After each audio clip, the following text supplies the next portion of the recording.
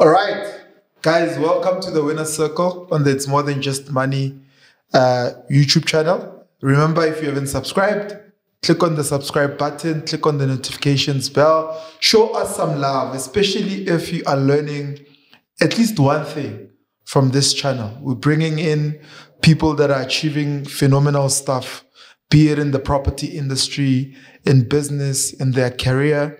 And we want them to share a lot of what they've done with us so that we can gather some lessons and use those lessons to also build up our lives. And it's what I wish for you as, as the viewer, you know. So this morning, it's morning where I am. I've got a phenomenal, phenomenal gentleman. I reached out to him because I love his content. His diverse kind of content. And I want him to share his story with, with us and give us some tips on, on how to do what he does. So his name is Aslam Du Toit. Uh, so he's a networker, he's a website developer, he's a property developer. He started his property journey in the year 2003. He has been in commercial, commercial banking, uh, I think for about 16 years now. Uh, he created a network called the 925 Millionaire. Uh, this is where corporate workers, professionals, and self-employed business people connect. So he's a, he's a networker and a connector of people. He shares his tip on how to make passive income on the nine to five. Yeah, nine to five. During, yeah, whether you have a job, man, you can still make money even if you have a nine to five, right? Yeah. Because that's what I was doing. Welcome. Thank you for Thanks, man. for agreeing to have this conversation with me with me. I said to you this is going to be a conversation. Yeah. And and I want people to get to know I know a lot of people already know who you are, uh, but there's a a wider audience of people Mm. that might be interested in your story. Um, and who are you, man? And why are you everywhere telling people to invest in property, start business, change their mindset? Why is that important to you? You know, I, I think when you feel that you have a calling in life, you just it, it's like you can't keep it. It's it's like a message you have on the inside, and you just can't keep it to yourself, right? So uh, it's not something that started now. I think it started with this thing over here, you know, reading books. Sure. And I think my journey started when I read Rich Dad Poor Dad. Sure. Same here as well. uh, yeah. Robert Kiyosaki, and uh, I, I had just finished varsity. I had no idea what I wanted to do after school. Uh, I thought I'm going to become a chef. A chef. a chef, man, because I, I actually enjoy being in the kitchen, but I, I realized I don't like cooking for other people. I like cooking for myself. Yeah. you know, but it's it's fine. Uh, you know, I love it when people enjoy the food, like the family. But I can't do it. I had a business where we used to cook food, and I didn't want to be in the kitchen. I like dressing like this. Yeah, I For don't sure. like looking like a chef. and uh, I, I thought I'm, that's the route I'm going to go, and uh, I ended up studying a, degree. I did a, a, a BCom degree. And even then, I had no idea what I was going to do. I got a job in finance, and I came across the book, uh, you know, Rich Dad Poor Dad. And Yeah. when I read the book, it was a mind changer. You know, I, I thought, wow, no one ever taught me this.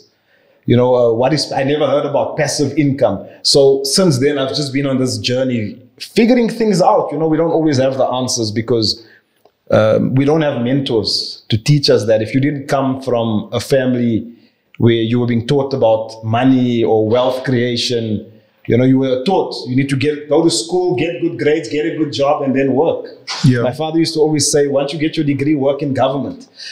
In government. That's what he used to tell me. You know, get a and, and you must understand it was their mindset, right? Yeah. because to them it's, it was like if you get a job in government you get good perks that was his whole thing you're Sure. going to get good perks And, you uh, didn't follow that advice. no no no no i didn't get into government. But after i, I, I uh, read rich dad poor dad it just i just wanted to share that message you know of building passive income. And since that time i was like telling people you know we should invest in property. We should uh, you know try to build passive income because we don't know our jobs might not be forever.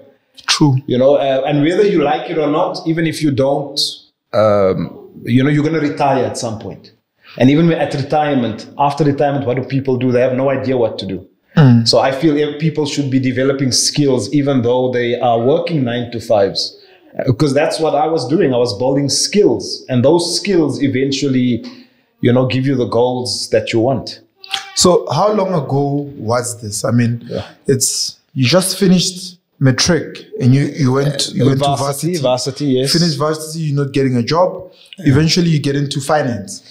Yeah, I worked for a credit insurance company. And then, what prompted you to? I mean, to you don't just pick up a book and read it. It's because there's something so in good. you that prompts you to want to read that particular book. It's a funny story, actually. In that company that I was working at, they were. I always laugh when I think back. This I'm talking the year 2000. Yeah. That so was- that's the year when you started working. Got my first job in 2000. Yeah. Hey, you've had a lot of salaries, eh? Man, too many. so I was working, I was a financial analyst at this company. So we was assessing financial statements of companies. Uh, that's why I know so many companies. Sometimes if you look at my content, there's a lot of companies that I know, right? Yeah. Because I was analyzing their financials and giving credit recommendations on those companies. So that's why I'm aware of so many companies. But uh, we had a general manager sitting on the floor and he called me into his office one day and I'll never forget the conversation. First thing he asked me is, he said, uh, he asked me, do you have a house? I said, no, I don't have a house. He said, okay, uh, get yourself a house. He says, but the moment you have a house, here's what I want you to do. I want you to start investing on the stock market. Now, even though I had studied finance, we didn't learn how to invest on the stock market. So I was like, okay. He's like, he he says, you see, I'm a general manager. Don't aspire to become like me. Sure. And I won't tell you the words that he used, but he said to me, I make more on the stock market than I make in this. Uh, I'll say place, but that's not what he called it. And I couldn't understand that because isn't that what you ex- you don't expect that to be told to you by your boss's boss? Yeah. you know so i, I didn't understand this and then I, I was like okay so i asked him what do you mean he said my he said his son is an asset manager and he invests in shares on the stock market so i thought man i still have a study loan i can't even think about investing on the stock market you know because i was paying my study loan Yeah. Was And it he- NSFAS? uh, no, it wasn't Nas- uh. NAFSAS, actually yeah. had a study loan from FNB at the time. You know, and uh, I had to pay this. And then one, once I paid the study loan, I barely had money left because Yeah. my salary was so small. And this man started something amongst a few of the youngsters in the in the in the department. He called it the Learning Organization. And he would take us every Wednesday afternoon and we would go into a boardroom similar to where we're sitting now. And he would speak about investing in shares. And at the time, we didn't have cell phones, smartphones, and things. So what he did was he made us open the newspaper. And you know, at the back of the newspaper would be all the share prices listed in the newspaper. I remember that. You, Yeah. you, you know, that I'm talking way back. And then he would tell us to select a dummy share portfolio. We must go and select shares from the newspaper. And we must come and tell him the following week why we bought shares in that company. So he was teaching us all this. And in that learning organization session, there was a girl that had the book Rich Dad Poor Dad. And she started speaking about this book. And when she started speaking about it, I was very intrigued by what I was hearing because these were new concepts to me. I had no idea what they were speaking about. Yeah. And then I asked her, Can you bring me that book? I want to read it. And she brought the book. I, I used it for like two days and I realized this is a book I want to finish, but I didn't feel good about keeping the book. so what I did was I took the book and I went to the company's photocopy machine and I photocopied the whole book. and I stapled it together and I, I read the book. And that's that's where I, and I was I was highlighting. You know how you would highlight in a textbook. Yeah. I was highlighting things like in a textbook, and I thought I need to apply this. But it wasn't until years later. So that was 2000. It wasn't until 2003 or four when I actually bought my first investment property because I was just hungry to apply what I was learning in the book. You know, investing in property and mm-hmm. that's that's how that started. It started from that experience. So it wasn't even something that was there burning or because I had no idea what I wanted to do. You know? Sure. So that's actually what happened. It had a profound impact on my mindset and my thinking. And then how do you move from that? You're in credit, you're analyzing deals, and then you bought your first property. Basically, you, you became a property investor. Yeah, you know, it's, was, it's funny. Was it a home to live in, or was it uh, just a property for you to invest in? So after I left that company, uh, I left that company in 2002. And then I became a credit analyst at uh, the Turquoise Bank. T- Turquoise. Okay, yeah. Yeah, I became a, as a credit analyst there, and I worked there for about I think it was about eighteen months. Mm-hmm. And even up until that point, I wasn't. I was. I hadn't invested in anything. I did. I hadn't bought shares. I hadn't bought anything. And uh, then I I only bought my first car. Then, so it was like the time you're a young guy. All your friends have cars, and I was finally like, thank God I can buy a car. And why I couldn't buy a car? Why? Because I had a study loan. Sure. So when I left that company, guess what I did? I took my pension to pay off the study loan. True. Okay. And that was like the biggest goal like I had at the time. So I, I paid that off. And then I moved to the Red Bank as a credit analyst again. And I was assessing deals. And one of the deals that I was assessing was uh, a developer that we were financing was building townhouses in the West Rand in an uh, area called Wilgeheuwel. oh, Wilgeheuwel, yeah. Yeah. And that time, these developments were just starting. And the banker I was working with, I asked him, I said, Can I buy a unit in this development? You know, and he said, I don't see why not. And uh, the the developer gave me a discount on the price, which we were not actually allowed to get because I was working in the bank at the time. Yeah. But we declared it, you know. So I, I invited a friend of mine. This was where I first learned about having a partner. And I told my friend about it because I don't want to do it on my own. So he bought the Were you unit. scared? I was a bit scared, you know, when you're doing your first investment. So I was a bit scared. And then uh, I told him, you know you buy a unit and I'll buy a unit. So I bought a unit. In fact, I put my name down for two units. I was going to buy two units. It's one of my biggest regrets that I let someone talk me out of buying two units because the only deposit we had to put down was 2,500 Rand. Yeah. We were buying them off plan at the time. Yeah. No transfer fees, no bond registration fees. etc. You know. Yeah. So in my mind, I was going to live in one and rent the other one out. That was my initial plan. Then I, I had some money stored away in an investment because I'd been saving. I had about 10 10,000 Rand stored away. And the lady who had our, the investment stored was working on our floor. And I walked into our office and I said, listen, that investment, I need to unlock that capital because I'm putting it down as a, I'm putting money down as a deposit on these two units. Yeah. And she asked me, uh, "Do you really want to buy two? You're exposing yourself." And I let this lady talk me out of buying two units. Naysayers. My brother, don't let naysayers, uh, you know, take you away from your dream. Because when I look back, if I had bought two units, those unit prices at that time had increased so much, I could have sold the one and paid off the other one. And I would have had a paid off unit in no time. So that would have been a brilliant strategy. So it's one of my biggest regrets. You know, so we, especially when you're young, don't be fearful. You know, that's a lesson that I'll, I'll tell people. Don't be fearful because you can always recover. You know, when I look at where my salary was in that year, 2003, to where it eventually got 10 years later, 15 years later, I was earning significantly more. So even if things had gone bad, I would have made it out of the hole Yeah. you know and uh, yeah so i bought one unit and uh, the unit wasn't built. I mean i couldn't even see. When i went to go and have a look at the property guess it was just land.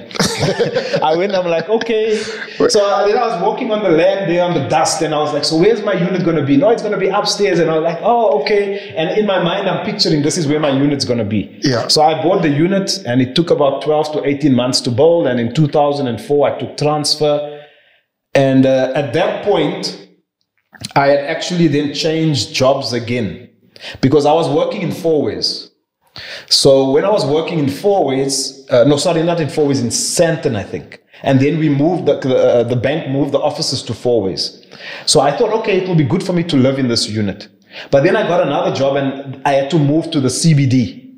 And I thought, no, but now I have to travel all the way from there to come into the CBD. So I, I stayed where I was. And then I said, I'll just rent out the unit when I took transfer. So that's how I started renting out that unit. And it was my best unit. That unit bought me two fish and chip franchises. Wow. Years later. And it was my best purchase. How did you do that? Refinancing. Refinancing. Yeah. Yeah.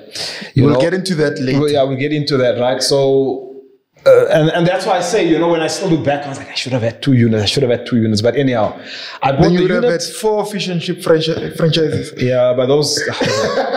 I have, I have, I have my other have reservations now about fish. Uh, not even fish and chips, but just like franchises in general. I know a lot of people want to start them. I'm not for them. Uh, there's many reasons. We might get into that. We might not. But uh, that was basically the journey. And I bought the unit. I started renting it out, and I'll never forget my when I told my father I'm buying a property to rent out. He said, "Why are you buying property to rent out? People are going to damage your property." I almost didn't buy the property as well because of that. So also be careful who you listen to. You know, this, I mean, your, your own father. You know, and remember they grew up in a different time. So when you're becoming an entrepreneur, you and I spoke about this before our session here. Mindset is going to be your biggest challenge. And when I say mindset, I'm talking about belief systems. Because what have you been told as a child about money? If you've been told over and over your whole life, don't invest in, don't buy property because people are going to damage your property. Yeah, then you you won't end buy up not property. do You won't buy it because you're going to be scared. So we as parents and as children of parents, we actually are the architects of either our children's success or their disaster. Yeah. Because you are, it's a self-fulfilling prophecy. You are giving them the tools to work with in their minds. Because remember, the, the body is only doing what the mind has already thought about. Sure. You know, everything we do, use, it was a thought first. They say thoughts are things. So if you allow those thoughts to become things in the things that you do, you'll never do it. So that's what happened. I bought the property. I started. I said, you know what? I'm going to do it anyway. Somehow, somehow, the, the, the, the, the knowledge that I got from reading that book circumvented what I was told by father. I don't, I don't, my father's still alive. I'm thankful, God bless, you know, that I still have a father. He's 82 years old. But some things you just don't listen to your parents. You just go and you do your own thing in your life. You know, you find your, you blast your own trail. And uh, that was the, the, the journey, the first unit, 2004. And then I searched and searched, and you know, eventually I started building up, and eventually I had 10 units, residential units that I was renting out years later. Yeah. That was like a 10 year journey. So you've got a, in those 10 years and even more years after that, you've had a diverse kind of a career. I mean, you've been, you've been an entrepreneur, you've started a property investment portfolio, you've done network marketing, you've been in banking, you've been in commercial banking. So what is the one thing that you could say was the most prevalent in, term, in terms of your mindset from starting to where you are now, where you can say, I picked up this mindset then, I still have it now, and I see it helping me for the rest of my career. So, you know, it's, it's, it's a very, it's a good question and it's a hard question to answer because I was just ignorance on fire. I didn't know. Ignorance on fire. I was ignorance on fire. Okay. The- and, and there's something else. I'm, uh, so I'm a, I'm a bit of a textbook when it comes to quotes and, you know, it's things that I've heard over the years. Yeah. And uh, I once heard that uh, ignorance on fire is better than knowledge on ice. Sure. So you can have all the knowledge in the world, but if you're not doing anything with it and you're not taking any action, then what's the use of having all that knowledge? You know, so it's good to get education. I'm a firm believer of getting education. But when you get education, be critical about the education and the things that you are learning and ask yourself how you can apply things. I don't like learning something that I cannot apply.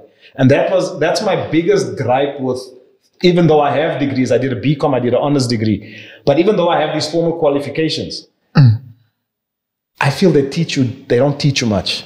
Because you've got a degree, but what, what can you actually do? They don't teach you how to do something. You're better off going and learning plumbing. At least you know how to fix a tap. Yeah. And you can charge someone for fixing a tap. Now, when you've Yeah. got a BCom, what, what can you charge people for? You can't charge them for business advice because what business advice are you going to give you them? start- What you learned in the textbook. Yeah. That's not real advice. Real advice is what you what you've done. So for me, because I've done things in property, I would much rather teach people what I learned in property because I've actually done it than teach them what I learned in a textbook. So when I was doing all these things, I was it I was doing different things because I didn't have an answer. I was running around in a maze trying to find what is going to work True. you know so even network marketing I, I i really got serious about it in 2014 that's why i did personal development but i was initially introduced to it in 2004 or 5 somewhere around there you know there's a company called amway Yeah. you know uh, with those expensive products and I, I was in there for like a day and i was like i can't sell toothpaste that costs 200 rand Yeah. you know but i was joining Where did that come from? That desire to want to join network marketing? because i, I it's a sales based industry. It's sales based. You see Yeah. the problem. People, everyone wants to get into property, but the thing that they don't realize, Yeah. especially with the properties I was buying, those things are very rarely cash positive. Like I get a lot of messages where people are like, "I'm buying a townhouse," and I'm going to rent it out. Negative cash flow sometimes. Always, Yeah. always, I put my head on a block that 100% of the time it's going to be negative cash flow. Yeah. But at the time, I didn't understand the concept because I was buying into what people were saying. Oh, if you buy a property, it's going to increase in value over 10 years. You don't invest because something's going to increase in value over 10 years. You invest because it can make you cash flow immediately. Yeah. You know, if it's not making cash flow immediately, it's simple, it's a liability. Well, it did eventually buy you two franchises, so they were But right. that one was cash positive from from it the was a start cash- because you got it cheaper. because I got it and cheap. you got a discount. Yes. Plus, I got a, yeah, I got like a discount on the property. I got a twenty percent discount on the purchase Yeah, price. and it only registered two years later. So yes, time and that time, remember, money. we were in a boom. I bought before the boom. Remember when did the market collapse? 2008. Yeah. nine. Yeah. By that time, my property had already doubled in value. Hmm. So I was fine. You understand? So I, I- Sure. wasn't, and my rental, even when I refinanced it years later, even though I refinanced, my rental was still covering two bonds and the levy. so you were still cash, I was flow still cash flow positive After refinancing. after refinancing. Did you refinance the total value or 80% of it? maybe up to about 80%. So Yeah. I was I was very Can you just quickly explain what refinancing means? Uh, maybe someone is Hmm. listening to and you and I and is probably thinking, what jargon is this? Yeah. Are these guys okay. speaking? So so refinancing in uh, in the simplest terms, that's how you get rich in property number 1. That's how you get rich in property. That's the beauty of property. So for example, it's basically you buy a property today, the income is 6,000 rand, so maybe you can get a loan for say 600,000. Or let, let's just say the property you bought it for 600,000, you're collecting 6,000. So you've got one bond on the property. Refinance, let's say years later, your rental has now gone up to seven or 8,000 rand. Mm. Which means you can take a second bond on the property and take out some equity. So you don't need to sell it. Some people will think about selling the property, but you don't necessarily need to sell it. You refinance it with the bank. The bank now maybe gives you another 100, 200,000 above the original loan, and you can take that capital and you can put it into another deal or into a business. Do you pay tax on that 100,000? You don't pay tax on that because it's not an income, it's debt. So it's free money. It's free money. Okay. It's other people's money. So then you use that to either buy another property or start another business. Yeah, you use that to invest. So that's what my clients used to do in in in, in the bank. You know, uh, It's I what was, you were seeing on a daily basis. I was seeing that on a daily basis on a very big scale because I was financing guys in the commercial property space. Mm-hmm. So they when they were refinancing, we're not talking a extra hundred thousand. You know, it would be millions. sure. You know, where they would refinance existing properties and they would be taking that and buying another shopping center. because the rental has gone up. the rental has gone up. And that is actually one of the biggest reasons I, I'm not a big fan of residential. Sure. Because when I was investing in residential, residential, you're always getting funding more often than not through the home loans division of the bank. Most of the time. The problem with the home loans division of the bank is they're always looking at your salary, not at the income of the property. True. You know, and I was I was having a problem with that eventually. Because I had 10 properties, I was renting them out. They were cash. You know, when I balanced it all out, they were making money. Yeah. But So you're getting like if if it was six thousand each, you're getting like sixty k over those Yes, units. yeah, we had all these units, and I was asking for further debt from the bank, and the bank was like, "You overextended." I'm like, "How? I'm not paying a cent out of my salary into these properties. So Yeah. how am I?" But the problem with the home loans division, and I don't know if they still do this because I'm out of the, I, I- don't deal with them anymore. What they would do is, let's say your income on rental was twenty thousand, they would maybe only take fifty to sixty percent of that as an income. Yeah. So they might only say only 10,000 is an income. And I would be like, but I collect 20,000. Look at my bank statements. It comes in month after month. And they would be like, no, we only take 50 or 60%. And then they would take the full expenses off. So obviously now when they calculate your cash flow position, they're saying you Yeah, are cash negative. flow negative. Yeah. And I'm like, no, but in real terms, I am not cash flow negative. That's when I realized these res- and it was not even about buying properties. At first, I thought it's because I'm buying in my own name. Then I started buying in companies and I still had the same problem. The problem wasn't the, the, the structure that I was using. The problem was the type of properties I was buying. As long as you're buying residential, you sit with that problem. So that's why I'm, I'm more in favor of commercial because when, when I was in the commercial space, we never ever asked the guy for his salary. Mm. We don't ask you for your salary in the commercial space. We ask you for your personal assets and liability statement. That's what we ask you for. So we want to see how much assets do you have and our liabilities, and we're looking at your net asset value. And when we look at the income, So you're borrowing against the net, net asset value? not uh, that's just so the company can make. That's just so the bank can make sure that uh, you know you, you have a, a good net asset value relative to the amount of debt that you want to raise. But ultimately, when they're determining affordability, they're looking at the rental income from the property. They're not looking at whether your salary can pay. So every time I get queries from people online, it's always they're always telling me their credit score. Yeah, nobody cares what your credit score is when I don't buying really care. I commercial don't pay building. attention to a credit. I just make sure your credit report is clean, that It's you don't have defaults. Yeah, But I don't care whether your credit score is five or 100. If you're buying a building that has rental income and you go into the commercial division of a bank, they're not going to look at your income. Unless they, unless you, uh, they're contemplating giving you a loan over and above normal lending criteria, which they don't normally do. You know, but as long as they're staying within the criteria and you have the deposit to put down for the balance, they're not mm. even going to ask you how much you earn at your job. Mm. And a lot of people don't know that. So, what are the other things that you've noticed that you think are not for the everyday layman mm. To know and understand about the property industry, especially commercial property industry?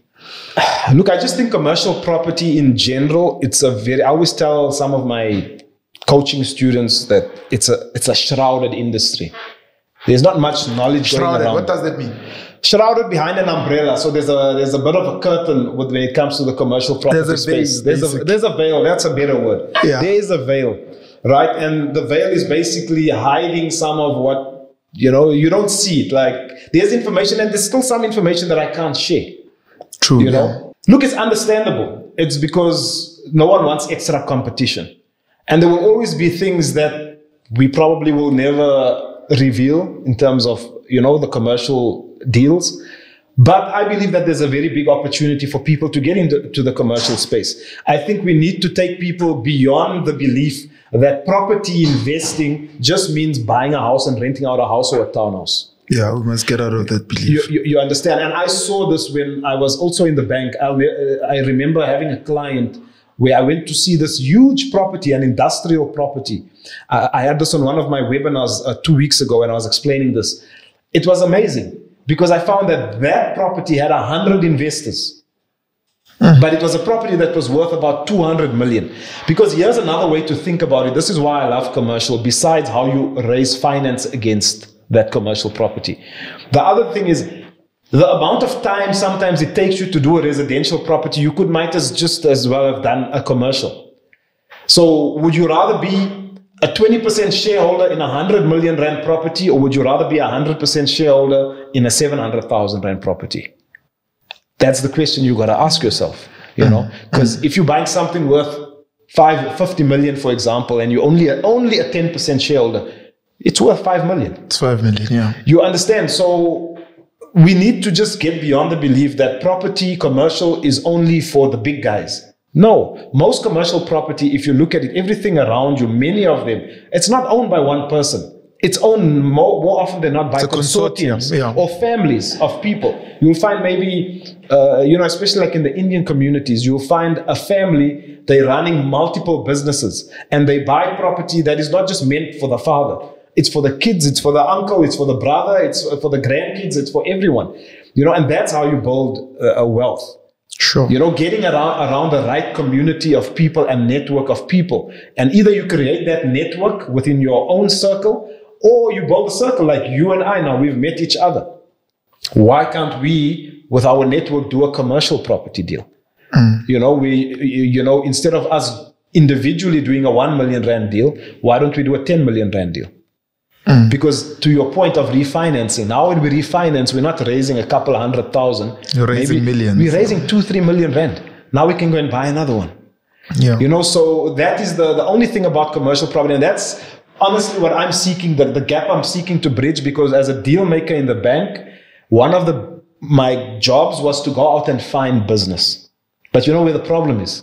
There weren't many people who were doing this kind of business. There weren't many people doing commercial property. Yeah. So I changed banks three times. I worked for three different banks. How did you circumvent the lack Hmm. of people that are doing this thing? Did you start? We all run after the same clients. Everyone's running guys. after the same clients. Yeah. It's, it's too incestuous. So what I would find, for example, I would be in one bank and I would have a certain clientele. Then I would move to another bank and I would think I'm going to go to the same client to do the same deal, you know, that I did for him at the previous bank. But then the guy says, oh no, at this bank I already deal with this guy. So then it started becoming very hard for me because what I found was that they wanted me to go and find new business How did a black man like you find new business? in a, yeah, in the commercial property space. is- yeah, because I'm a very- imagining that a lot of the people that were doing that kind of work yeah. Were predominantly white. Predominantly, more than 90%. Meaning there weren't many people that you would have grown up with or Mm. known to be in that kind of business anyway.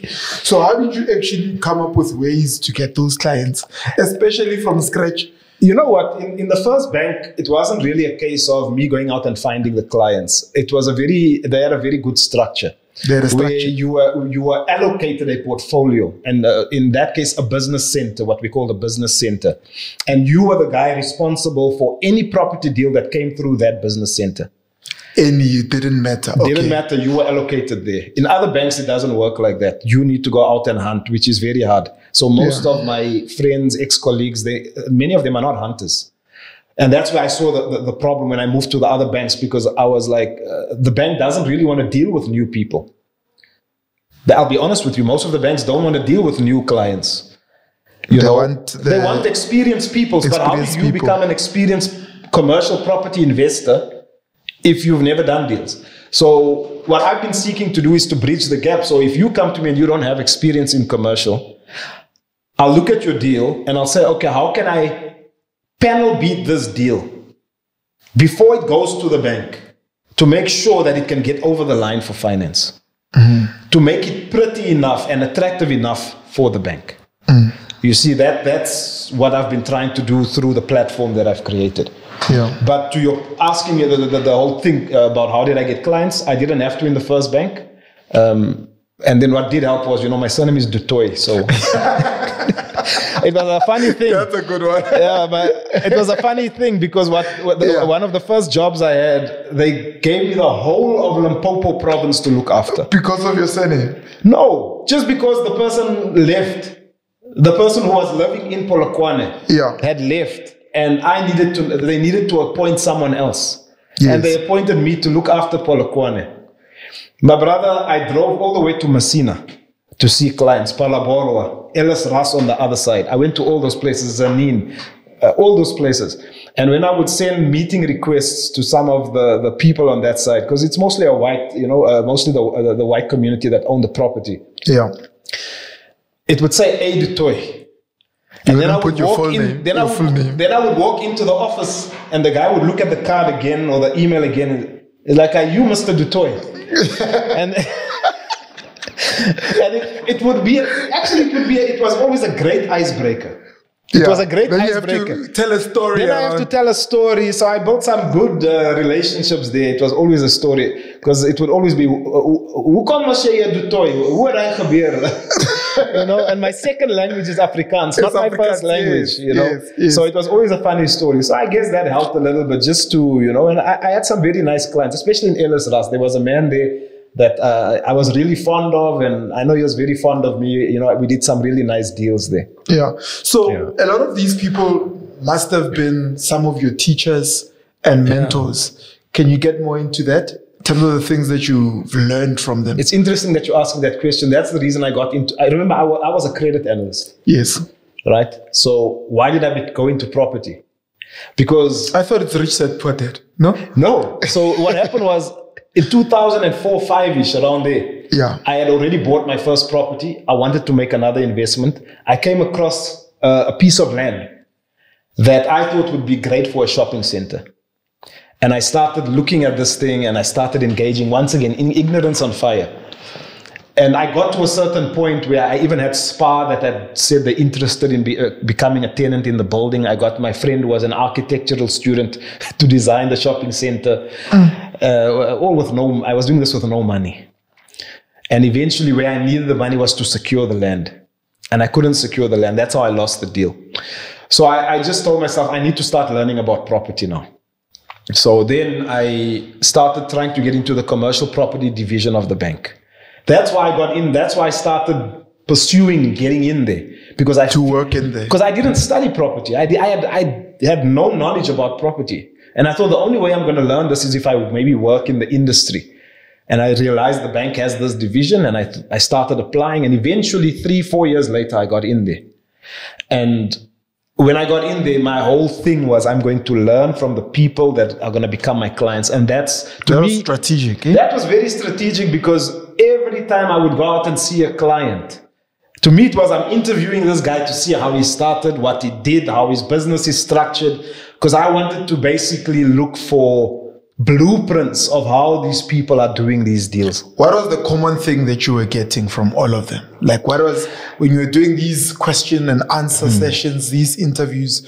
What's the most common thing amongst all these successful property developers and investors? You know, so for, for the guys that were developers, a lot of them, it was sort of a historical thing where they've been in it maybe through a family. Maybe the father was doing it and they just came in and took over. You know, and they learned the game like that. Some of them maybe were working in construction or they were quantity surveyors or, you know, there were some sort of professionals and they eventually became. But in more cases than I can remember, it was always a case of the guy would normally have another business that he was running mm. that was actually a cash generator for him. It could be a wholesaler, it could be a steel business, it could be any any other any business, and they were basically taking their money and putting it into property. So I then realized that property wasn't really the wealth creator; it was the wealth magnifier for a hmm. lot of them. And it was where they would store their wealth, not where they really created most of their wealth. In some cases, they did.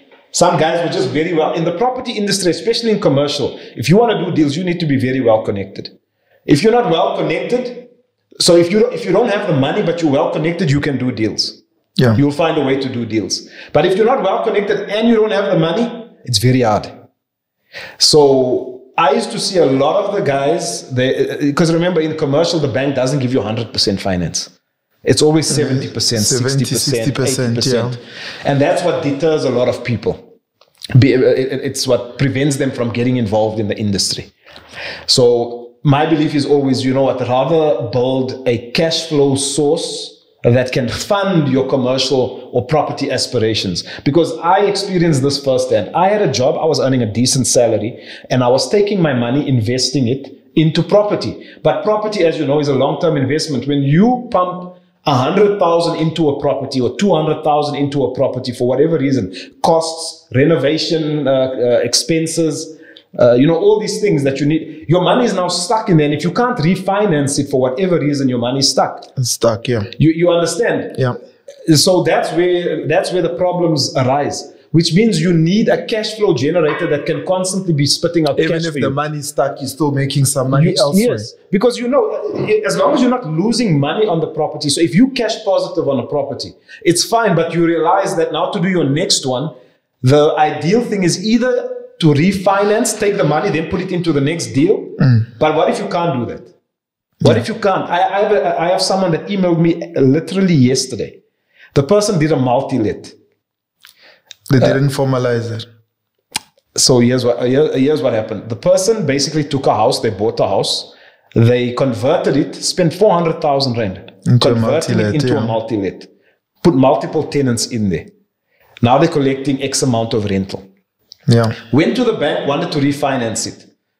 The bank, bank asked them, "Where's the plans?" The plans were done, but they were not approved. Yeah. And where's Then the they- rezoning? Then they told him, "You need to rezone now." Yeah. It's a big problem. So now this person is stuck. You have to wait another year until you get the rezoning. Yes, but now uh, the problem also now with the rezoning, when I looked at her cash flow, it won't be worth a while. Because when I looked at the rental, the rates and taxes on that house, plus water and everything, is already 4,000. What, once, what happens once you rezone? Your rates and up. taxes go up. Yeah. According to the value of the property, the Yes. new value of the property. You understand? So now you, you have a problem here. You mm. see? Mm. So the person, if you have a good job and you can fund those shortfalls, which should never be the case, because if you start funding negative cash flow properties, you're digging yourself into a hole. At some point, the house of cards is going to collapse and you're going to to you're, gonna, you're going to come out short. Yeah. Cash is king. Cash flow is king. You understand? So for that reason, you need to be very, very careful with, with those types of properties. You have to think twice because if you can't refinance, you're stuck. But if you had a cash cow outside of that business, outside mm-hmm. of that investment, then you're like, okay, I do have a cash cow, and maybe I can just pump a little bit more equity into this deal on the bond. Because what I also noticed on this particular person's deal, the the bond is very high.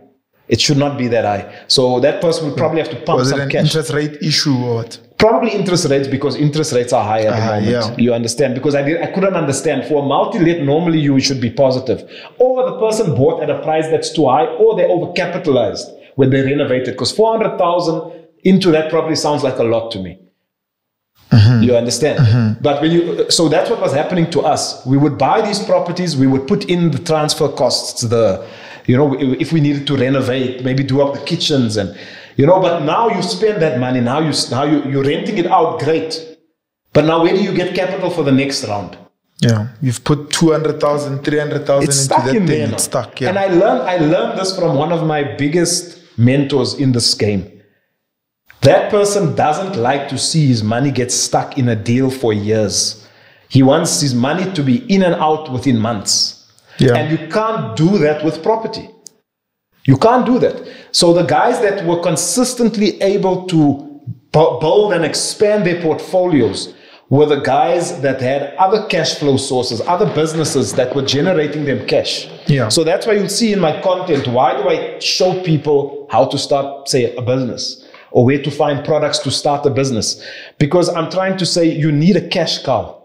I call it a cash cow Build the cash cow. build your cash cow because a lot of people that come to maybe even you and me, you know, and they they'll, they'll tell you, I have fifty thousand, I want to invest.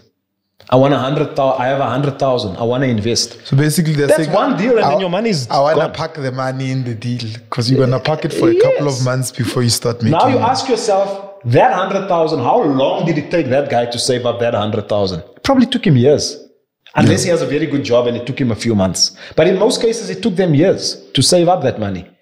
You know, so now you put it into a property deal that is not going to generate cash immediately.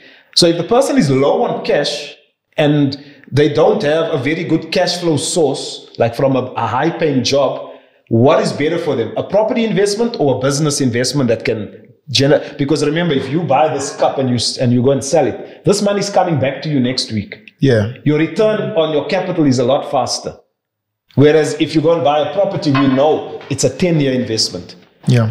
You know, so whenever we invest Even if it gives Hmm. you immediate cash flow, um, I mean, you have to have multiple of those. I mean, Multiple. one one unit is not gonna make one a millionaire no ways. unless they take that money, refinance it, keep investing in other Yes. businesses as well to grow the portfolio. So yes, so the, and it, it, so it's for that reason that I'm like, yes, property can make you wealthy, but for most people, if they're coming from a background where maybe they just have a little bit of capital, maybe it's better for them to first get into a business Yeah, or get into a deal as opposed to maybe going and uh, taking your 50 grand and putting it in to one deal that you're doing on your own. Maybe rather partner with investors where there's only 20 grand needed to get into a deal. At least you didn't spend all your cash. yeah. So You know? it can be two pronged, whereby what I'm hearing from you, take some of it, put it in a business, take some of it, put it in a deal. Yes. The business is generating the money weekly, monthly, daily, whatever. Yes. And then this one is your long term source of income. Yes. Because that's what property has been and always will be. It's a long term investment. My partner always, when he speaks to me, he always says, in 10 years' time, this property is going to be making X amount of money because there'll be no bond. He's always thinking long term. Long term. Yeah. You know, so property is a long term investment. It's not something you think of now, now, now. So then, if it's long term, why do you always say make positive cash flow? Now. because positive cash flow, so you at least don't have to pay the bank. Okay. Because, uh, you, because you don't want to be paying out of your pocket for any Want to investment. pay zero. You want to pay investment. zero. Because remember, a, a property could be, let's say, I'll give you an example. We just took transfer of a property literally two days ago. This property, after paying the bond, will probably net about, interest rates have gone up now. I would say maybe 8,000 a month. But can 8,000 sustain me No. a month? No. but it's a big purchase. It's a big purchase. But in a couple of years, as those rentals escalate, then it becomes more meaningful. Right now, I'm also working on that property. I'm putting, I'm working on putting in a cell phone tower. Uh, yesterday, they told me that should bring us about 15. We're expecting 15 to 16,000 on the cell phone tower. We're putting up a, a borehole. Mm-hmm. So instead of the money now going to the council for the Council, water, we yeah. collect it. So that will bring us another, I don't know, 10,000, depending on the water bill that was being paid. And then we're putting up a, a digital billboard. We're putting up a billboard. So that might make another 10. So automatically now look at my cash flow. So when, when we're buying property, we all, I, I'm not looking only at the property cash flow as it stands now. If that property doesn't have the potential for me to increase the cash flow even more, Yeah. should I be buying it? No. You know, No, it's only going to make me five or six or seven thousand. Yeah. But if I can get these other things in, which is then putting the bulb is not going to cost me any money. Putting the cell phone tower is not going to cost me any money. But it's immediate turn- return. So now immediately that five or six thousand rand that we were making, now we're making 26, 36,000 a month. Mm-hmm. On the now it becomes meaningful. You understand? Yeah. So that's how how how you should be thinking about it. But the cash outlay to put into that deal was significant because the bank didn't give a hundred percent bond. Yeah. So the deposit was was huge. Yeah. Which a lot of people wouldn't be able to raise that kind of money. Now mm-hmm. let's talk about the kind of mindset and management skills mm. that are required to run a property investment portfolio or to grow it. Because you know, a lot of guys like you and I would, would be online and say, invest in property. Mm. But what we forget to tell people is that it takes a lot of work to manage a portfolio. Manage mm. one tenant, yeah, that's fine. But to manage 50, 100, mm. 20, that's not as easy as it looks. Can you talk more on that? And, and you see, this is where I also want to again say why I, I, I'm, I'm steering more towards commercial because when we're speaking about tenants, we're speaking about residential tenants. Yeah. That's why a lot of people's veil has been removed. Yes. Right? Mm. Now we- are removing their veil on the commercial side. Yeah. But a lot of them, their veil is more removed on the residential. That's The biggest reason I sold my properties was because of the management issues I was sometimes having. yeah. I had 10 units, and in some cases, I brought on partners to invest with me. On the deal, they brought in the capital, but I, I ran the deal. I currently have nine units on the market right now. Nine. nine selling as one portfolio, but they're all in one development, which is Okay. good. Yeah. Okay. So when I when I had those ones, I, I was the guy managing everything. I was running the rentals. I was managing the payments and everything, and I had a full time job as a banker at that time. And that gave me stress. When I tell you I had stress, I had stress. You don't see these gray hairs here for nothing. Yeah. you know that's when i realized this year you, you, there needs to be a, a very you know you need to put a manager in place but the problem with residential sometimes your rental income is not enough to add a managing agent into the deal Yeah. Because 10% then- becomes a lot. yeah, yeah, because I mean, the managing agent wants seven, eight percent. Some of them want ten percent. Hmm. Now, all of a sudden, you negative cash flow. So for that reason, in some most cases, I couldn't put a managing agent. I had to run the stuff. So when I sold all my residential and I said now I'm going into commercial, it's because I realized if you if you and I buy an industrial property, hmm. right? Compare this. You have residential. Who's responsible for the maintenance? I am. You are. Hmm. So if something is broken there, who's going to have to go fix it? You. Yeah. In an, in an industrial property, do you think your tenant is going to wait for you to come fix a light bulb or something? No, no. No, he's We've- gonna do it We've on his done own. office space before. Most of the time, uh, the tenant is the one that actually revamps the entire unit. on the Exactly. inside. They don't have the time they to work for in you. a certain way. Yes. Yeah. The toilet is broken. Do you think they're going to call you? No, No, of course They want to use the toilet. Yes, they'll fix it. They might tell you, listen, I fixed the toilet over here, but uh, I'm going to send you the bowl or whatever. Uh, no problem. which solves your maintenance and management issues to a certain degree. And in some cases with commercial property, you can actually put it in the lease that the tenant is responsible for those things. You can do that, but you can't do that in residential. So when it comes to management, you need to have thick skin if you're going to be a residential landlord.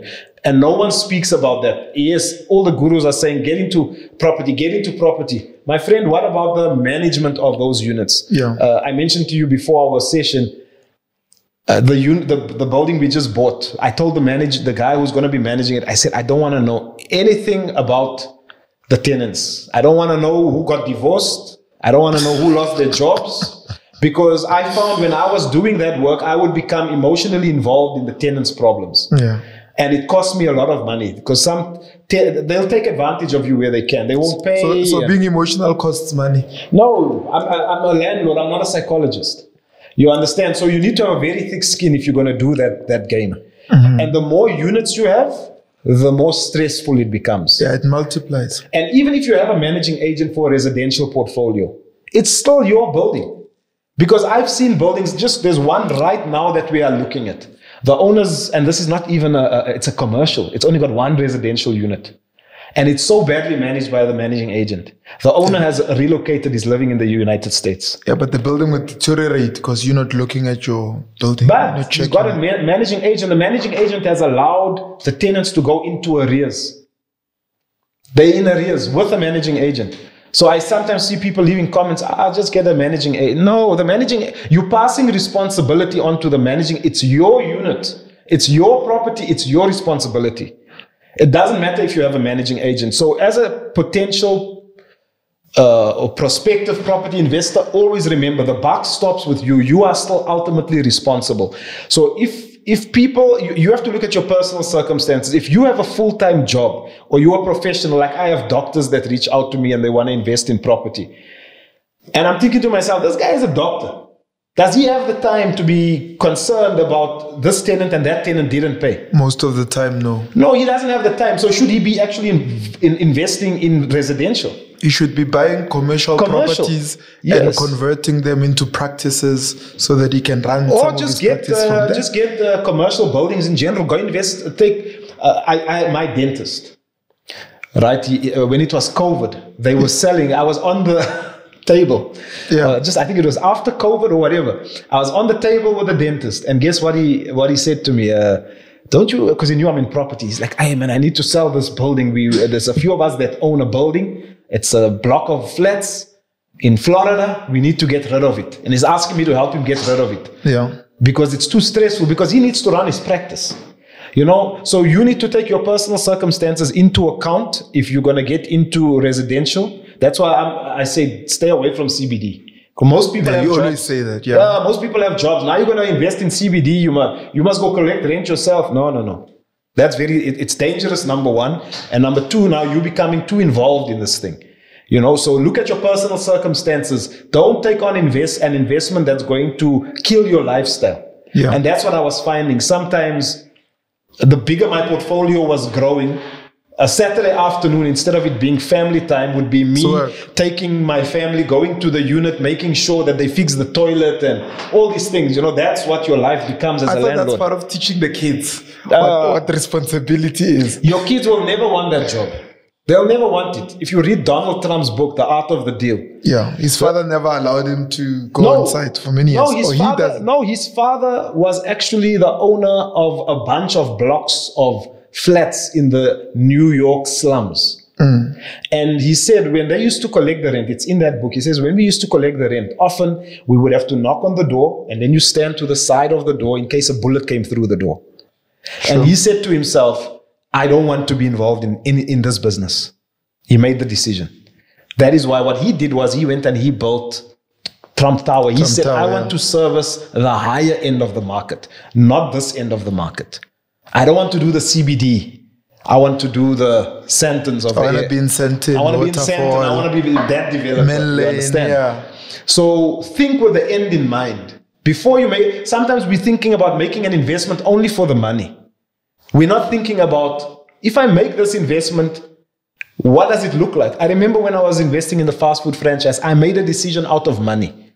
Mm. Because my, my What did you see? I mean, there might be someone mm. now wanting to buy a franchise, and we're not saying people shouldn't. It's up to mm. them. Yeah. But what happened with the deal? So with the franchise, there was a there, wa- there was a strategic intent with the franchise. I had 10 properties, but I wanted to quit my job. And these the idea was once I have 10 properties, it's supposed to be making me enough money so I can quit my job. But I wasn't I wasn't able to do that.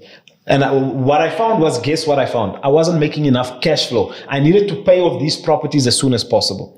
So I thought if I invest my money in my franchises, in franchises, because I found out, uh, you know, these fish and chips were like, they were like new that time, 09, 2010. So we opened ours in 2011. Yeah. But by that time, they were Just after of, the World Cup. yeah, but by that time, they were starting to already go down, you know, and I didn't realize that. But the first store did well. So I went in there thinking that if I invest in the franchise, it's going to spit out 20, 30,000 Rand cash every month. And then I'm going to take that money and I'm going to pump it into my property investments to bring down the debt so that I can have more cash flow because then that's passive income, right? And it didn't work out like that because with the, with the, with the franchise, if I, if I had looked at the people that had businesses like that, I would have realized why I shouldn't have one like that. Think with the end in mind. So when I got the franchise, guess what my Saturdays once again were? I had to sit in the shop. have to be there. So now I'm working Monday to. Friday in the bank. Yeah. And then uh, even though my wife was running the stores, Friday night wasn't family night in front of the TV or going out. No. Friday night was the family being in the shop all the time. We didn't have, there was no holidays, man. Even when we went on holiday, I remember we went on one holiday to Durban. Just my wife and I, because I just felt she needed a break.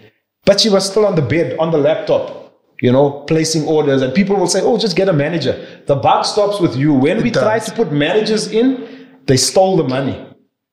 They stole the money. Which you know? becomes counterproductive. Y- yes. So if, if, if you're going to go that route, all I can say is, and I learned this from a very successful person who owns franchises, not, I'm not talking these small ones, like big franchises like Spurs and Ocean Baskets and things. And he said to me, One of your mentors as well. one of my clients. One of your clients. Yeah, Yeah. yeah. Ah, you see, I told you. Mentor. Yeah. yeah. And he, he said to me, because I said to him, I would love to own things like this. He said, if you ever own stuff like this, yeah, make sure your manager has a share in your business. Let him put his own money into there as well. Then he won't steal from you. He says on the ones where uh, where he didn't do that, the managers always stole the money. But when he made them buy a share into the business, then they and it could be a small share, it can be ten percent. He says when they bought shares or they were uh, shareholders in the business, then he said the business did well. Then he didn't have as many issues. So that's that's the main thing is like if you're gonna go into franchising and you have a full like that's why I, I'm very big on online businesses. You'll see my content. I'm always trying to steer people to Towards online, the online, business. yeah. There's a reason for that because I realize that if you have a full time job, now you go open a franchise or some sort of traditional business. How are you gonna run it? Because any business requires your attention. Yeah. If you're going into construction, you need to be there. If you're opening a takeaway, you need to be there. If you're opening a supermarket, you need to be there. Yeah. You know, otherwise, uh, you, your, your stock and things is not going to be well managed. You know, uh, and if you get it right, then good for you. Some people have managed to find ways to do that. Yeah. So what I'm hearing from you is that now everything boils down to management. Yeah. Whether you are working or you have a business or you have a property investment portfolio, the end in mind is will I be able to manage this thing? Yeah, always think with the end in mind because think about what are you buying? What will the what will your life look like if you are highly successful doing exactly what you're doing? So once again, if I speak about the franchises, I wanted to have five stores. I eventually had two. If I had just sat back and I looked at the guy next, the, the guy who had a store next to me, guess what I noticed only when I had my store? I mm-hmm. noticed this man is always in his shop Every day. all I needed to do was look at him and I was like, but this guy is here every day. Which means I'm gonna have to be here every day. Mm. So which kills the concept of passive income. It kills the concept of And passive freeing up income. time. Yes. You know, one guy said to me that witness, if you want to make a lot of money in business, mm. find a business that you can put systems in and free up all your time. Yeah. Then you have more time to go look at other businesses. Yes. If if you find a business that's gonna need you to be there all the time, Mm. it means it's taking up all your thinking and your creativity. That's why I think with I'm not saying all franchises. I think there's a reason a McDonald's and a, and a KFC, for example, cost the money that they do. I the think big they, ones, the systems. Yes, you're buying an actual system. But Yeah. with these small ones that come out, you think you're buying a system. But I mean, even the likes of our Debonairs and Steers, they won't give you a store if you're not going to be an owner manager. They want you to be an owner So what's manager. the, yeah. what's the point? Am I not buying your system then? Yeah. You're supposed to be They selling me a you to be system that works They want you to me. be an owner manager. Exactly, you know. But they have found that the most successful stores are the ones where the owner is actively involved, Yeah. which is fine if you want that life. It's Famous Brands, right? Famous Brands, yeah. Yeah. So if you want that life, then it's fine. Then go ahead and do that. But think with the end in mind. So if that's not the life you want, so if you want to build a property portfolio and you're going to go and buy a ton of units in CBD, are you going to build a lifestyle that you want? Yeah. Because all you need to go do is look at other CBD owners and see if they're sitting on the beach collecting checks. True. Or are they running around trying to get people out of their buildings because it's hijacked? Mm-hmm. You understand? What I love about what you're saying is even though you are buying into like a franchise or buying mm. a franchise, be willing to at least give shares to the manager. Not give, but there's 10%. Yeah, well, you if, can- if that's the route you want to take. or you can, yeah, there's different structures you could do. If the person doesn't have the money, maybe to buy the shares, maybe they maybe they only have a certain amount to buy a very small share. Then you tell them, okay, you know what, I'll give you say 15 or 20 percent. Mm-hmm. But maybe as you pay them, they buying their share from there. Maybe you work out an arrangement. over a period of time. Yes, so it's almost like they're paying in from their salary. So let's say you're paying the guy 15 G's. Yeah. Maybe you say, okay, you know what, we agree that for you to buy this share is going to cost you X. And then maybe you deduct from the money that maybe you're paying. Maybe they make an arrangement like that. Find a way to structure it in so that the guy can have a share in the business, a small share. So just so he feels a sense of ownership that mm. by me building this, I'm building my wealth. Yeah. So make your you would need to make your managers your partners uh, instead of your just your managers. Then I think you build a more successful model. Sure. Think about the franchisor. I always say if you're ever going to go into franchising, become the franchisor, not Must the be the franchisor, yeah, of course. But what does a franchisor do? He's partnering with you. He's partnering with you. He's making you his partner. Yeah. But do you just get in for free? He has a shop. No, you Or pay. do you need to pay it? you pay. it? You, You pay him for and it. you're totally responsible for it, and he gets paid. He gets He's the passive, passive income. income. He gets the passive income. Yeah. So uh, to start those types of businesses cost a lot of money. If you will- if you're going to be that type of entrepreneur, it's going to cost you because if you want to start a franchise of your own, you need to come up with a pilot store that you're going to because you need to show the concept, right? Yeah. So it's going to cost you a couple hundred thousand, a million And you still have to on be there every day. then you need to be there to show that it's a winning concept. Then you have your three, four stores. Now, when the concept takes off, now you become the franchisor and you sell the concept. That's a lot of money and it's a lot of time. So, why am I such a big supporter of online? Mm. Because as a full time, most people are working full time that want to start businesses. There's a lot of people that are frustrated in their in their jobs. So does that guy have the time to go open that to- sort of business, to go run the franchise, get it off the ground? No, he'll have to leave his job to do that. Whereas to me, with an online business, you can work on that thing in the evening. You can work on it from home. You can work on it from your cell phone. You can work on it when you're sitting at the coffee shop during your lunch break at your job. Yeah. You know, so that to me is the beauty of uh, of online businesses. That's why I'm I'm so big on them because I just find that it's it's better for people to go that route. Whereas if they're gonna go, the, uh, I, I started my very first business, which we didn't cover, was actually I, I used to sell car sound. Car sound. I used to put subwoofers in cars. yeah. I used to go into the township. That, that must have been big business in the 2000s, eh? Uh, the that in 2004 5. Guess what? Guess what, guess what was my I used to have a strategy? car like that that had, Yeah. that had sound and everything. Yeah, hey man, I went to competitions, man. I brought home trophies with my sound. Yeah. I was serious about that thing. I was in my 20s and I was like, ah, this thing, I'm going to do it. You know, but guess what was my marketing strategy? I used to go to Soweto, go stand by the busiest spot, put my car sound on, and it makes a noise there, makes all the shutters rumble there in the centers. Yeah. And then And I the give out taxi drivers pamphlets. come Ah, and say, come I, and I give out my pamphlets. I'm like, come see me there. You, you, I'll put sound for you. That was my business. So that business, to start that little tiny business from my garage, cost me 40,000 rand back then to buy stock, setting it up in the garage. You know? So you sound you sound like somebody who's got a very strong mindset, um, and also willing to share knowledge with mm. people. Where does that strong mindset come from? I know you need to be closing, but mm. I just want to tap into your mindset a little bit because mm. somebody might be watching and saying, "I want to be like Aslam," but do you have his mindset? It- And where does that strong mindset come from? I think it's from doing the things that other people were not willing to do. Most people won't go sign up in a network marketing company. You know, network marketing has a very bad reputation because uh, you talk about recruiting people and you know it's just got that people And sales is taken. yeah, and pyramid scheme and all these things. But when I joined a company like that in 2014, we went through a lot of personal development. So the, the learning I was doing before I got into that from the books was one aspect, but I didn't continue my learning. I didn't have a mentor that was teaching me what to learn, what, you know.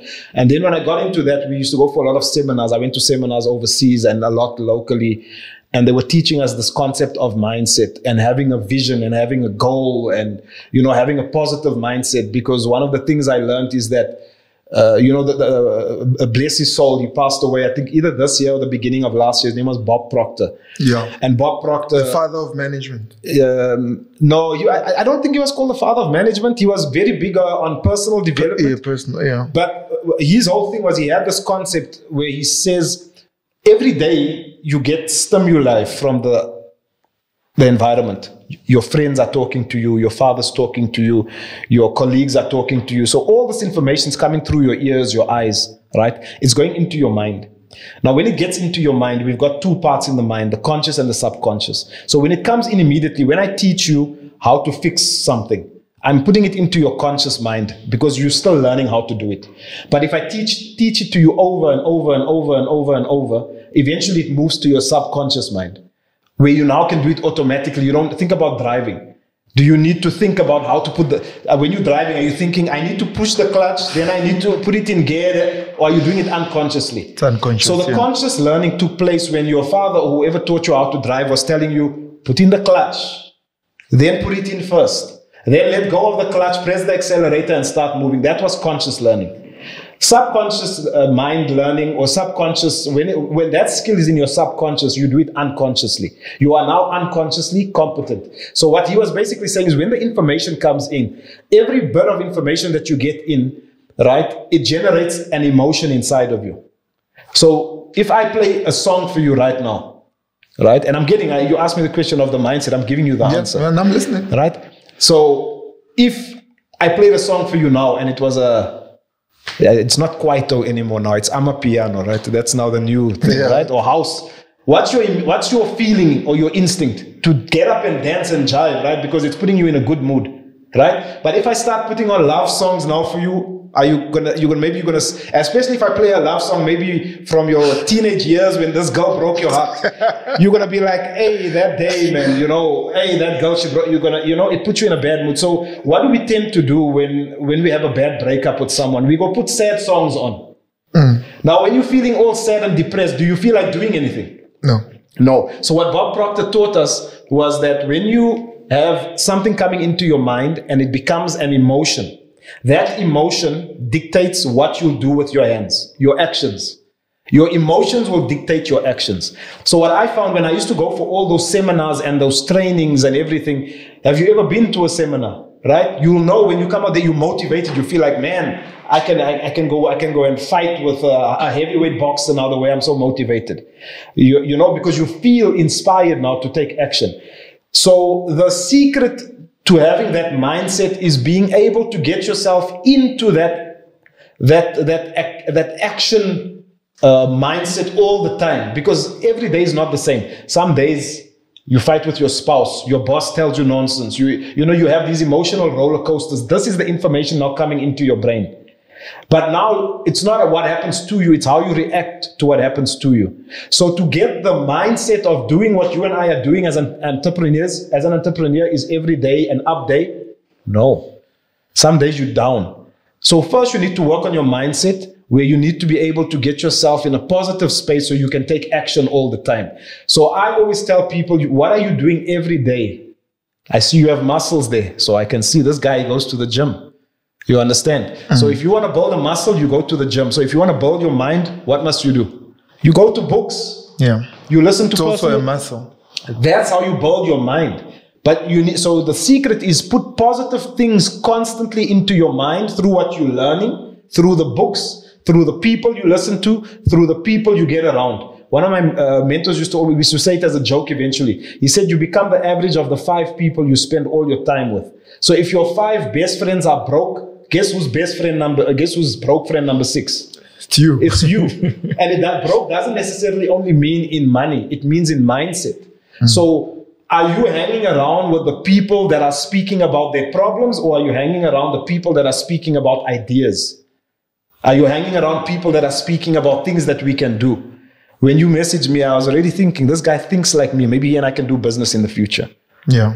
You see, because Absolutely. like, why did you call me? Because like attracts I'm like. like, that's my guy. You understand? You, you, so we attract each other. So uh, when, when- I'm looking for, for not even when I'm looking, when I when people are coming to me or for you for coaching, I interview them because I'm not looking for everyone. I want to know I can work with this person. This person must have been attracted to me, and I must be attracted to them in a, in terms of mindset that we can work together. Because you can't take the unwilling to drink water. What do they say? You can take the horse to water, but you can't make him Force drink. it to drink. I don't even want to take the horse to the water. He must pitch up at the water, and I'm like, I'm hungry. Give me the water. I'm thirsty. Give me the water. Yeah. My job is not to to help you get to the water. That's your job. And how do you do that? Books, listening to the right people, listening to the right podcasts like the one we're on right now, getting this positivity in your mind every day, and that is going to build an entrepreneurial mindset. Sure. That's what I've always noticed about entrepreneurs. They can be having down days, but there's no time to be down. They need to be upbeat all the time. So even when things are bad, they still upbeat. They still upbeat. Your two favorite quotes? You, I think I've given you a lot, huh? I think I've given you a lot. There's, Uh, there's one about the one that you talked about and and something about an ignorant. oh, yes, yeah, that's a good one, right? So, uh, ignorance on fire is better than knowledge on ice. So, when people ask me, how do I get into business? Where do I start? I say, just start. Just start. Are you waiting to do a business plan? Because many people they'll come to you uh, like I, I get messages. I have so much money. What business must I start? I don't know. Go start something at least. Because you you're looking to for me to give you the answer. So if I tell you start selling cosmetics, and then if the cosmetics business doesn't work out, then who you gonna blame? Aslam. You're gonna blame Aslam. No, go start something that you are passionate about. I feel so. Here's the business I feel the person should start. This year, can I speak to the camera? Yeah. This is the business you should start. You should start a business around something you either have a passion for, an interest, or previous education or experience. That's the business you should start. Because that you can start, guess what, without any money. Because the knowledge is already here. And Yeah. then you can turn that into an online business. Because somewhere, if you know how to, like you're a property guy, you've done, you're doing multi-lets, right? So if if you were coming to me and you were saying, hey, you know what, I'm doing multi-lets, but I need to diversify my income. I'll immediately be like, what have you done? What are your interests? Okay, your interests are property. I'll be like, okay, and you've already, I'm just speaking if you, uh, not Yeah. you, what you're doing now. I'd be like, maybe you should write a book. Maybe you should start a podcast and start giving people your knowledge. Maybe you should start a blog. Maybe you should be running courses and things like that, you know, to teach people what it is that you know. Because those are things you can start without any money. Everything else, where it comes to buying products, you need capital to buy those products Absolutely. you know so i say start with the things that are already in your mind and you you don't need to be the most experienced guy you and i spoke about this you said to me earlier i don't know if we were on on the air Yeah, we're not on air yet. you said to me uh, you know sometimes you meet people they have more experience than you but they're not doing the things you're doing why because they maybe just don't have they, they, they're keeping the knowledge on ice you are just maybe ignorance on fire and you're like i don't know how to do it but i'll figure it out Sure. so that's also my philosophy. You know, don't try and figure things out. Just start. If you fail, so what? You learn something from it. Yeah, ladies and gentlemen, that was uh, Mr. Aslam Du Toit. He says, start. Start. Don't ask what kind of business can you get into because you've got some money. He doesn't know. He's saying, go start. And what I love about that is that he explained, he came back and said, I don't know, but here are the areas where you can start. Somewhere where you're passionate, where you know you've got the knowledge, where there's easy reach for you in terms of your skills, and you can teach your skills to other people. More specifically, because you can take that, put it online. If you don't think that's value, I don't know what value is. Comment, let us know what your thoughts are. follow him. Where can people follow you before we go? Where Okay. can people follow you? So- I know you've got the property deal maker. So yes, On uh, so- Facebook? Okay, so on Facebook it's the Property Deal Maker. That's the page. On uh, YouTube, TikTok, it's all Aslam Du Toit. If you just search Aslam Du Toit YouTube, I'm more active on TikTok these days. I love the algorithm there. Yeah. you know it's uh, it's crazy. Uh, and then uh, aslamdutoit.com. I've got a website. It's aslamdutoit.com. All right, ladies and gentlemen, that's it from us. Remember to subscribe, like, click on the notifications bell, and share the video with as many people as you can so that more people can gain knowledge. All right, that's it from us. It's more than just money. Ciao, ciao. Yeah, but you must remember to remove the one about the pool. Yeah. ne? yeah, yeah, yeah.